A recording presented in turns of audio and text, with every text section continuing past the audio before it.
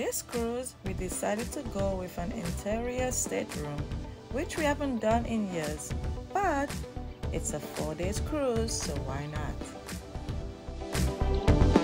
Drop it.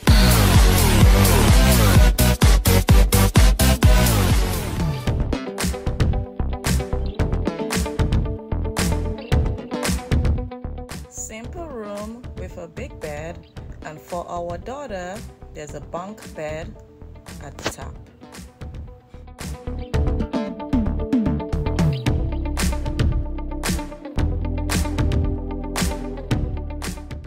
The TV. Under the TV is a small table, and under the table is a small refrigerator.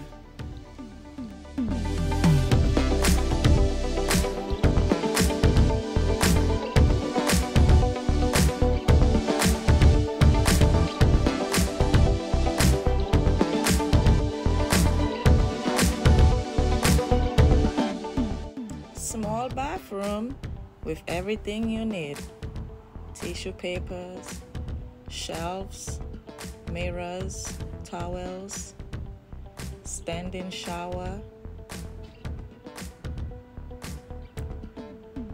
toilet, and the sink.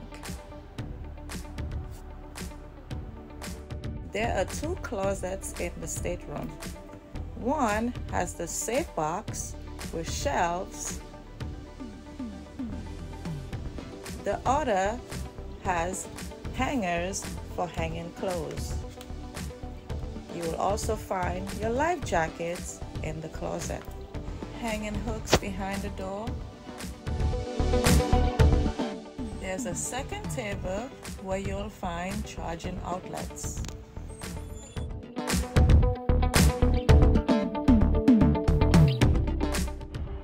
The bunk bed is pretty easy to put down.